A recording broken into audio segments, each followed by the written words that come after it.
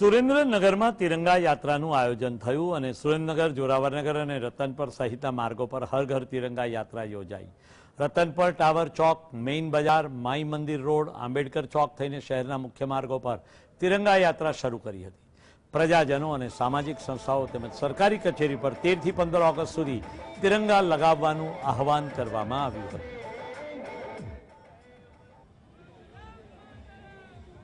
તિરંગા આપવામાં આવેલ, જેમાં ઉમિયા મંદિર, IPS school, ultravision school, Shivlal Anandjibhai માકાશના સેવા ચેરિટેબલ ટ્રસ્ટ અને સુરેન્દ્રનગરના સમગ્ર બહેનો, ભાઈઓ, યુવા મિત્રો સાથે જોડાઈ અને અંદાજિત એક હજાર તિરંગા બધાને વિતરણ કરવામાં આવેલું અને સમગ્ર સુરેન્દ્રનગરમાં યાત્રા દ્વારા જાગૃતતા ફેલાવવામાં